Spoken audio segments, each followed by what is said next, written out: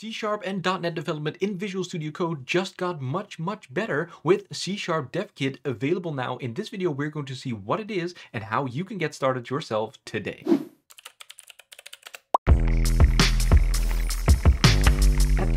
Recording, hot off the presses, the C Sharp Dev Kit is now available in a preview version for Visual Studio Code, which will bring a lot of the familiar concepts from full Visual Studio, if you will, to Visual Studio Code. We'll see uh, all of that in action in a little bit. Um, it's not even been like 12 hours or something since this has been announced, but I'm so excited about this that I had to record a little video for you so you can see what it's all about. And you can actually use it yourself today as well. So that's really exciting.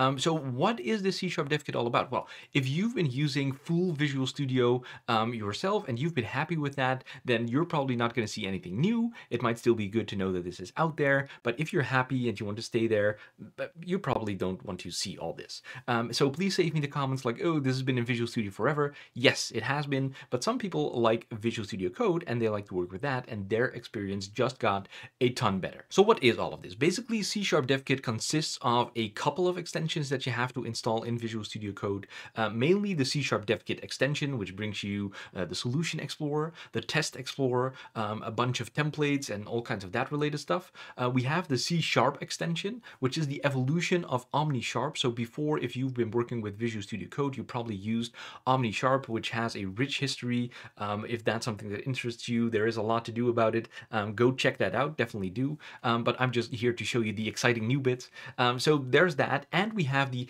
IntelliCode for the C Sharp Dev Kit as well. So all the AI powered um, um, predictions of the code that you want to write. So that's a set of things. And I think there's some other stuff involved. We'll see that in a little bit when we switch over to VS Code. Um, one other thing that I want to get out of the way, one practical thing is that this also follows the licensing of Visual Studio. So if you are an individual or working on open source, um, this follows all the same licensing as Visual Studio Community. And I think if you are like more enterprise customer, professional customer, all the same licensing that is in Visual Studio uh, applies to this as well. So if you've been already using that, I think you can just get this extension for free. Um, I'm not really big on the pricing and that kind of technicalities, but just so you know, there is some things in place, so you want might want to look into that if that is something that is um, important to you. Now, enough with the talking already. Let's see this in action. Okay, so here in Visual Studio Code, I just uh, installed the stable version. I typically use the insiders version, so that has a couple of extensions and stuff already. I just wanted to show you the getting started experience. So here is the stable Visual Studio Code that I just installed, has nothing on it um, right now. Um, so here, if you go to the left, we have the extensions. And whenever you click that, I'm going to search for C Sharp Dev Kit, which will bring us all the goodness. Um, so here you can see a couple of related ones. I'm just going to go with the top one. Um, already more than 2,000 downloads. And like I mentioned, it's like hours old. So that's crazy. Um, so just click install. And while I'm doing that, I'm going to go over um, some things that are here in the documentation. So you can read everything here. Oh, it's already installed, which is cool. Um, but one thing that's good to note, which I didn't really touch on yet, is that this is totally cross cross-platform, right? Uh, Visual Studio Code is cross-platform, so you can run this on Windows, Mac OS, Linux, and even in a code space. So if you remember code spaces, GitHub Code Spaces, which is your IDE, your Visual Studio Code in the cloud, um, you can also install your C Sharp Dev Kit on that and have this rich C Sharp development experience on your cloud IDE, your cloud environment as well. So that's really cool. Now here, basically all the stuff that I just mentioned, um, goes over it here. There's a little demo, little spoiler alert. Don't don't watch that, um, which is uh, what I'm going to show you right now. So if I remove this, you can see actually that it installed a couple of things like I just mentioned. Uh, so we have that C Sharp extension, the C Sharp Dev Kit, and the IntelliCode for C Sharp Dev Kit, and some .NET install tool for extension authors, which is probably a dependency or something that you might want to have there. Now, if we go back to like this this Explorer right here, then you can see typically here in Visual Studio Code, you have to open a folder folder, right? It's just a unrelated folder that you can open, um, which doesn't really do anything. But now we also have open a folder containing a .NET project or solution, or you can do create a .NET project, right? Um, now, when I do, you can see behind me pops a, a, up a little thing. Um, I'm not really sure if this is supposed to happen. Um, it feels kind of weird that I now already need to upgrade my C Sharp DevKit extension, or actually my C Sharp um, extension. My C Sharp uh, extension needs a uh, pre-release version. So just click upgrade, and whenever that does, it starts installing automatically, and it will get you the right version to actually get started. But it feels kind of weird that this is needed. So maybe by the time that you're installing this, this is not something that needs to happen anymore. But right now, don't be concerned. Just click that install button. It will get you the right version, and from there you can can start working with all of this finally. Finally, I would say. Okay, so my Visual Studio Code reloaded here just to uh, apply all these things. Now let's click this create.NET project again. And you can see that it starts downloading some things, the newest .NET runtime that I needed for this. So that all comes automatically. You don't need to worry about that. And you can see that it brings all these templates. A .NET MAUI app. Um, does it work with .NET MAUI? Hmm. All right, that's interesting. Um, ASP.NET Core, Blazor. Uh, I think in the blog post, I will link that down below in the video description. It talks about your web project and your cloud first projects. So probably you want to focus on that first for this preview version. Um, like the .NET MAUI app would be totally cool, absolutely. Um, but I would focus on the, the kind of like simpler, more suitable projects for this first. And hopefully we'll see a little bit of .NET MAUI love in the future as well. Um, so if I just go with like, I don't know, what should we go with? Um, just just some web API, ASP.NET Core Web API always works. Um, we have to select a folder where we're going to save that. So let's just do new folder right here, VS Code, demo. Um, let's just open that and select this folder. It's going to put all the files. So this is basically your .NET new, I don't know, web API um, dash n to su supply a name with Visual Studio Code demo, and it's going to create it here.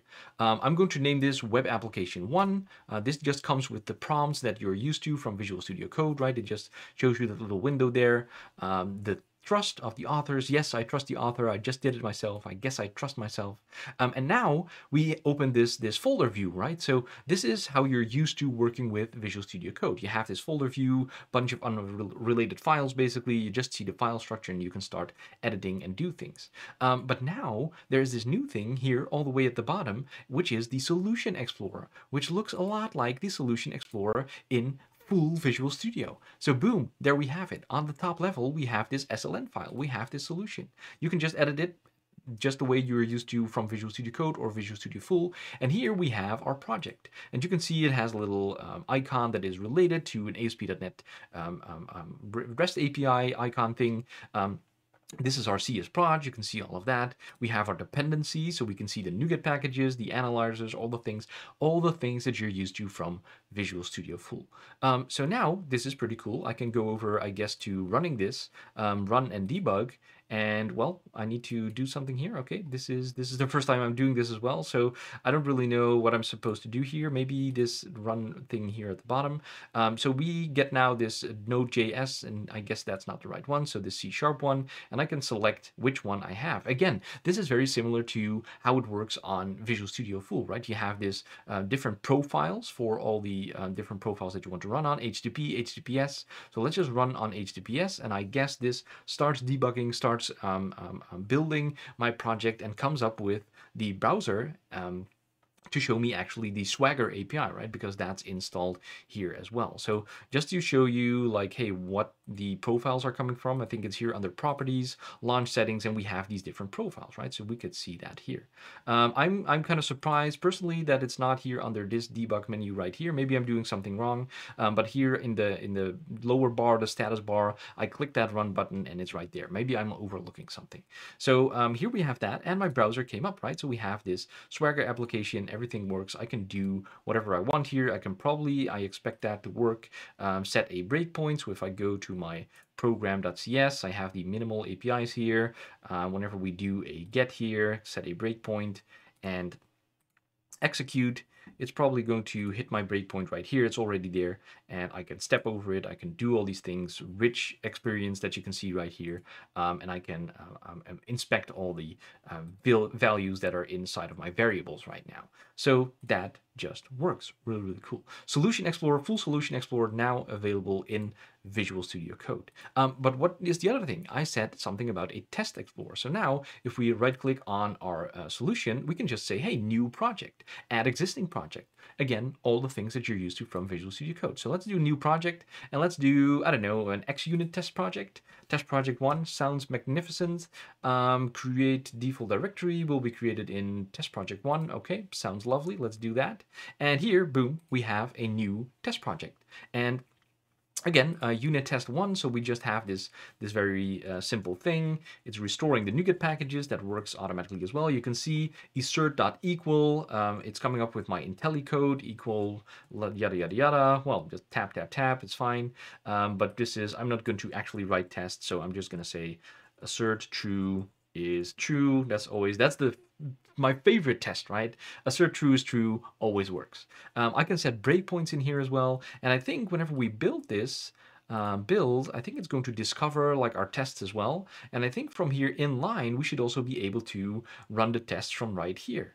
Um, although I don't, oh, see, here we go. We get that little play button. Click to run tests, right click for more options. So we can run this test, debug the test, reveal in Test Explorer. So let's check that out. And whenever I click that, you can see the little flash coming up here. Um, that was probably already here, maybe whenever I started building this project. And we can see testing. And you can see kind of like the same cascading structure of all of our tests. You can probably see the categories if I would do that. And we could see this full Test Explorer. So I can run them all right here from the top, or I can just run this one um, which is just going to run my test. You can inspect the terminal output here. Um, it's going to run my test and they are succeeded. Yes, I finally write succeeding test. You can debug it, so debug the, run with debugging and it will hit my breakpoint and you can inspect that the assert true is true is actually true and that it should um, succeed with all of my tests right here. So that's in a nutshell um, the full new experience with C Sharp Dev Kit in Visual Studio Code. How cool is this? I've been a fan of Visual Studio Code for a long, long time, and I'll be honest, I have not been using it enough.